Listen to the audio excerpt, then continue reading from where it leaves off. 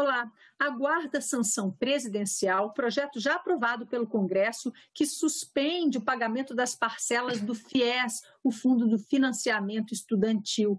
Agora, no Senado, um projeto propõe um novo FIES emergencial, para a gente entender melhor o que é isso, a gente conversa agora no programa Argumento com o autor dessa matéria, o senador Assir Gurgax, do PDT de Rondônia. Senador, muito obrigada por conversar com a gente, achar esse tempinho aqui para falar conosco.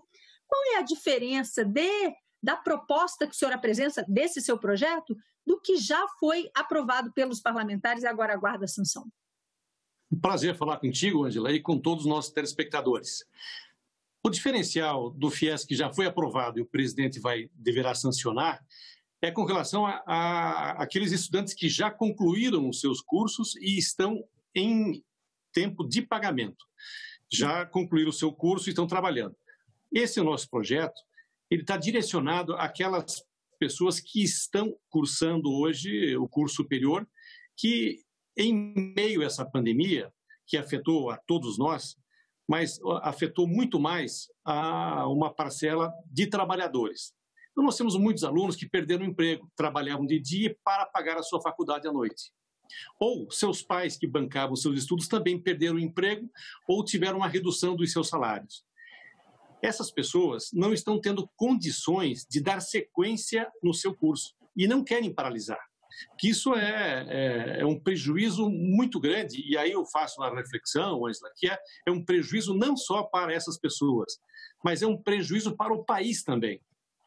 Imaginemos nós, quantas mil pessoas vão deixar de fazer faculdade, que é uma mão de obra especializada que o Brasil precisa para continuar, continuar crescendo e se desenvolvendo, nós teríamos um hiato muito grande, talvez percamos uma, uma parte de uma geração toda sem a possibilidade de cursar é, um curso superior. Então, esse novo programa é para essas pessoas que estão cursando e não têm dinheiro mais para pagar a sua faculdade, a sua universidade, e é a hora de entrar o FIES emergencial para socorrer essas, esses jovens e essas famílias.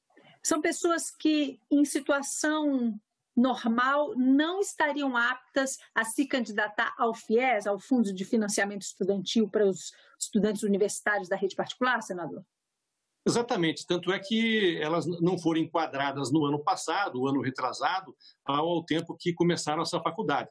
Mas nesse momento, eles se enquadram no meio do curso, ou no três quartos do curso, ou num quarto do seu curso, que agora precisam do FIES para dar sequência a, a sua faculdade ou a sua universidade. Eu entendo que é, é uma obrigação de governo socorrer esses jovens. Aliás, é uma obrigação para a sociedade. Eu volto a colocar, Angela, que isso é muito importante. Dá-se a impressão de que o governo estaria é, estendendo a mão apenas para os jovens. E não é só isso.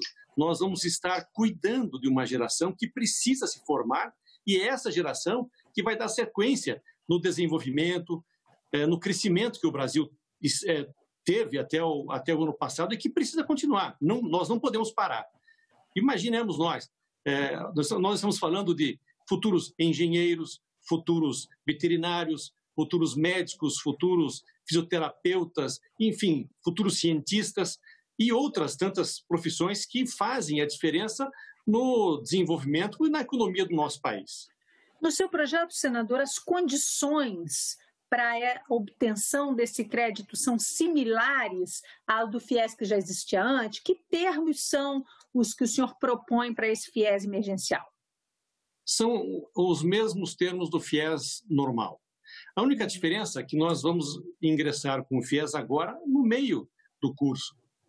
Não só no meio do ano, como nós estamos agora é, em junho para julho, mas no meio do curso. Tem gente que começou a cursar no ano passado, não tinha o FIES, tem pessoas que já estão no terceiro, quarto período e que não tinham o FIES, mas agora precisam do FIES. E as condições seriam as mesmas do FIES normal. E a duração é só durante a pandemia ou a pessoa que começou com esse financiamento emergencial agora é, segue com ele mesmo depois do período de calamidade pública terminado? Olha, nós é, entendemos que esse FIES emergencial deve continuar até o, até o final da, da sua formatura. Eu entendo que sim, a não ser que ele, porventura, retome as suas atividades comerciais, tanto dele ou da sua família, e o FIES possa ser interrompido. Mas, normalmente, esse FIES deve se estender até o término da sua faculdade, até o término do seu curso. Até porque vai levar um tempo para que a economia brasileira se reestabelecer, não é, senador? A gente viu, por exemplo, só no mês de maio, um rombo gigante das contas públicas. Só maio o rombo foi similar ao de todo o ano de 2019, de acordo com já noticiado pela imprensa. Dá para esperar mais investimentos públicos? O aumento desse rombo agora é importante? E como ajudar o país a se recuperar dos efeitos da pandemia, uma vez que ela nos deixe? Olha, Angela, nós sabemos que nós estamos no meio da pandemia. E a crise na economia, ela vai ser mais aguda pós-pandemia. Então o governo tem que se preparar, se preparar para enfrentar esse momento difícil. É, é um momento que nós vamos precisar mais do que nunca da mão do governo, do Caixa da União. Que o Caixa da União de quem é o Caixa da União? É, é da população brasileira.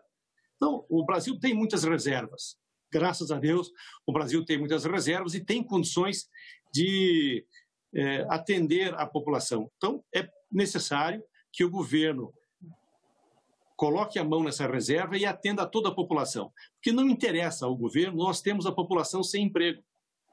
Não interessa ao governo não ter empresas funcionando para poder arrecadar para o próprio governo.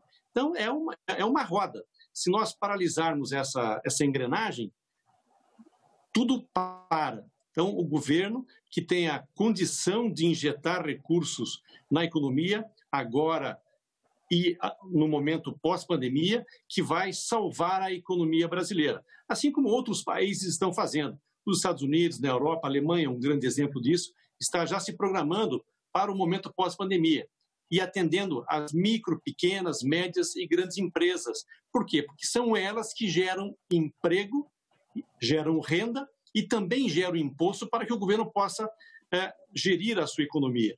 Mas eu é, visualizo, infelizmente, momentos difíceis pela frente, para todos nós, seja no, no executivo, no legislativo ou na iniciativa privada. Nós todos vamos ter que nos unir para enfrentarmos essa crise pós-pandemia da economia que ela vem. Ela, se hoje ela está forte, a expectativa, infelizmente, é que ela se, se agrave ainda mais. Então, nós temos que apertar o cinto, trabalharmos bastante e cada um dar a sua parcela de contribuição para que a gente, a gente possa ver o Brasil atravessar esse momento de crise com maior tranquilidade.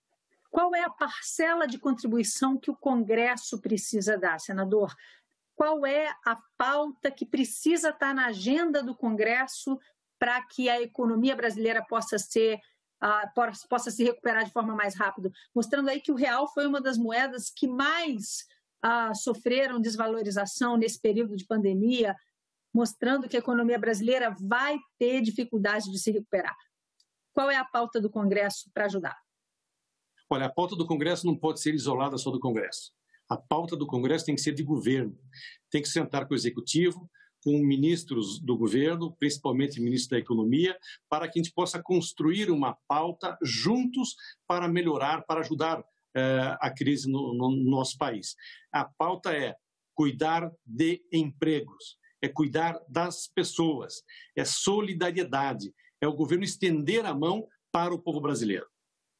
Senador, última perguntinha, resposta bem breve para o nosso programa chegar ao fim. Receptividade do seu projeto que propõe esse FIES emergencial?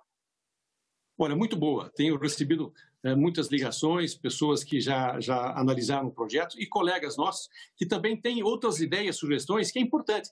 Por isso que é importante é, a gente contar um pouquinho é, quando tem um, um relator e o relator modifica o projeto. Ele modifica para melhorar. E temos várias propostas, ideias, sugestões para que esse projeto venha ser aprovado com melhorias ainda do que já está escrito. Mas é importante a dizer, vamos cuidar dos nossos jovens. Eles são o futuro do nosso país, o futuro da nossa nação. Um abraço a todos e até a próxima, se Deus quiser.